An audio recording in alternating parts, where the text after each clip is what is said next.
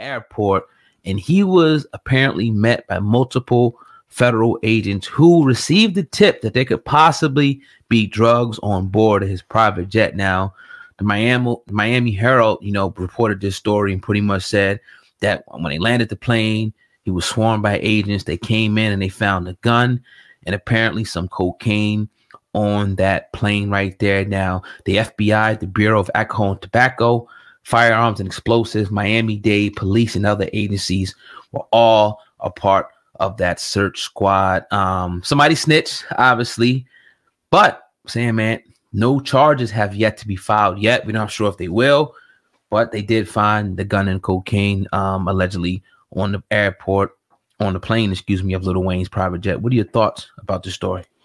Um, it's a fixed game we play. It's a fixed game we live in, man. And these rappers are a lot of them, especially a little Wayne, is well equipped for these situations now. Somebody got caught slipping a little bit, but I don't think it's going to be anything egregious enough to file charges. I don't think it was anything big enough or substantial enough. We're not looking at a situation where they found six, seven bottles of lean, hundred some odd pounds of marijuana. Yeah. You know what I mean? Oh, God knows what else, pills, whatever. Right. It's not one of those situations. Wasn't that home run like we were talking about in the pre-production that they may have been looking for. Mm. But let's go to the source, which is a snitch. Lil Boosie talked about it. He said it best. Um, somebody had to be telling, and we think it's the pilot. I'm gonna let Lil Boosie talk a little bit, oh God, and then I want to get your thoughts on what he says. I want to beat that fucking pilot ass. Somebody need to beat that fucking pilot ass, bro. The one who told the fucking people they had guns on the plane.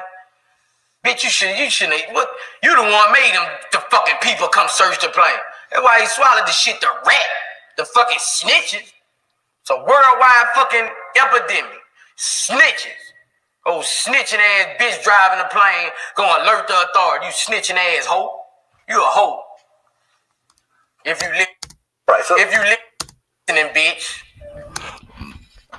All right, what, what do you think about that, man? Nah, I agree. I love it, man. It's just like I obviously had to be, you know, the pilot, and I, I would think, you know, I, I, don't know, I you know, you you would want to build like a rapport with somebody, you yeah. know what I mean, and like have somebody that you trust, even with that type of situation. Now, people do a whole bunch of different things. That's not my business what they carrying on a plane and whatnot. That's why it's a private plane. It's almost like being in your private car and you get a driver or some shit and you got your stuff in there and he go and tells you know um the police that oh these people got guns and stuff. Like that's crazy. Mm-hmm. i don't like it man. I don't like rats.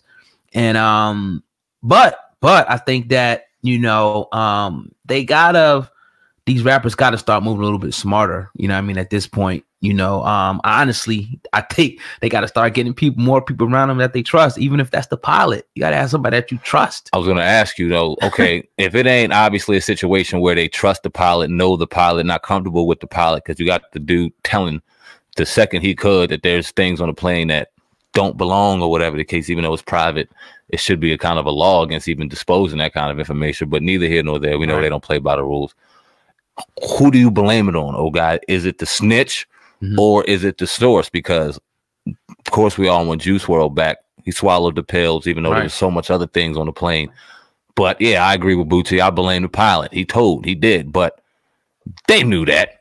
They knew this dude if they saw all that stuff. You could tell. You could look at somebody's eye like, this motherfucker telling. So I can't speak for you. Right. Answer this question. You you more than welcome to, but I don't yeah. see you getting into a private situation, whether that be a plane or a car, and showing off whatever you got happen to have it, maybe a J or two, but nothing crazy. I mean, we don't even know that. We don't even. It, it could have been like they could have been watching them, and they just chose this opportunity to try to bust them. Maybe they thought they could find a little bit more in there, make mm-hmm. a situation a headline like Juice WRLD. Um, but I think that yeah, it, it probably came from the pilot, or who knows how many people was connected to the situation. Like maybe somebody seen him walking through the airport. Who knows? You know what I mean? They could have just been speculating. There's so many things that could have happened. We know with Little Wayne, but um, who I blame is definitely starts with the pilot. Definitely, because we wouldn't know what the hell he had on this private jet if somebody didn't. I mean, not to say we don't know if it was the pilot. We're just speculating, obviously, but you know, um, whoever told, we would never know unless they say something. That's why it's, it's, it's private this is he needs a gun. If they doing this thing, who cares about the cocaine? You know what I mean? So what? That's that's the way I look at it. It's like you know weed or anything like that.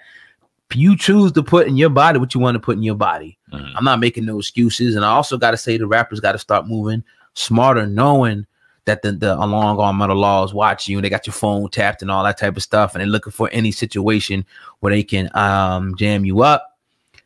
Have people on there with the proper, you know, license and shit like that. You know what I mean? You know, it- and not to say, I mean, again, no, there's no charges yet. So I'm not sitting up here saying, oh, they had a legal gun. We don't even know that yet. It could have been registered at this point. Oh, we don't know that. Exactly. No, we don't know what was going on, and that's why no charges. It wasn't the home run they were looking for. Right.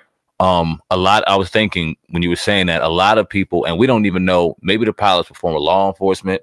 You never know if they had military. A lot of them walk under the same kind of code. Where like, nah, if I see something, I'm reporting See it. See something, say something. See something, say something. Remember you know what I T-House mean? commercials? Like you, show, you play it for me every week, man. Every week you play for me. Um, but nah, you never know with these. You just never know, and that's why you have to have somebody, even a pilot, trustworthy. If you're doing this for years and years on end, you get somebody on the payroll, you fill them out, and then you you keep them, keep her, whoever, because it ain't worth it, even showing or whatever.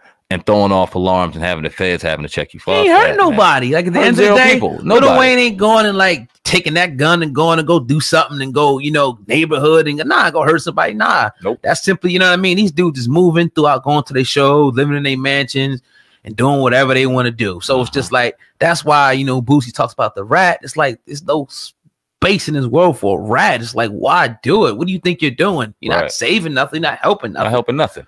It's crazy. Just giving man. somebody a hard time and ruining somebody's life right. for nothing. Definitely, definitely. But yeah, man, you know, that's one of those situations where you kind of just gotta, you know, um, just move smarter, you know, and it seems like uh, obviously we always talk about this, but it's real. Every other week, every month, we talk about another rapper has some type of running with the law, he gets arrested, cited with weed possession, something like that. So that is what it is, Sam, man. Crazy. Yeah, and we don't see any other genre of music getting caught up the same way. But we all know they're living like rock stars, so it's very That, funny That's, that's a good and point. a coincidence that it happens only happen in hip hop. Yeah, know. definitely, definitely. Well, speaking of another rapper, man, Baby has been making a lot of headlines the last couple of weeks now. Um, he was apparently um performing at Bojangles Coliseum on Monday night.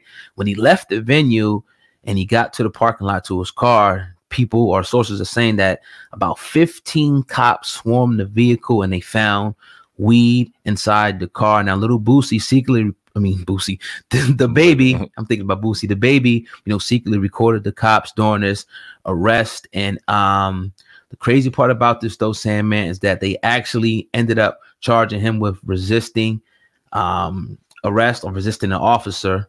Um, he was not arrested, just cuffed and cited, you know, um, and the weed charge that he got from that particular situation down there in his home state, his home state of Charlotte, North Carolina. Um, are they messing with the baby Sandman, or do you think that it's just, you know, um, just a coincidence? Well, the baby feels as though they're messing with him. He dropped something on his Instagram shortly after the incident, after he got released, and he definitely has thrown the red flag on the police.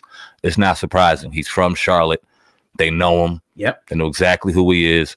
And we see similar situations happening like this throughout the United States of America and pertaining to hip hop artists. We've seen it happen in about it. In his home city, Slauson.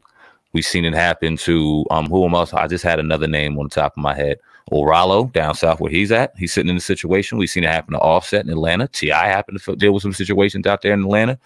So it's not surprising that the baby being one of the hottest rappers in the game right now, one of the hottest talents, one of the hottest names in the game right now, going back to a place where, I mean, we all know how racial lines are in North Carolina. Sometimes they're great, sometimes they're horrible, depending on what line you're on. Mm. Um, for these cops to be messing with them, absolutely. Oh God, I'm gonna play a clip of what Yes, the baby said, and then I want to get your thoughts on it.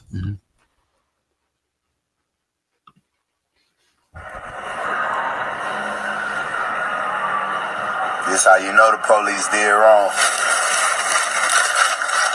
I'm in there waiting to see the magistrate. Three hours. They done made me take 12 different mug shots. These the two arrested officers coming in and tell the COs, we need Jonathan Kirk's property.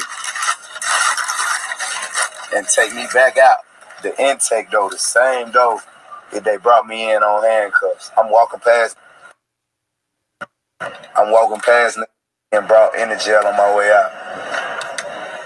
Everybody in the world who ever been to jail, especially in, in Charlotte, you know it's policy for them to cut this band off of you before they let you out the door. They didn't take me out the right door. They took me out the same door they brought me in. They illegally searched me, illegally arrested me. All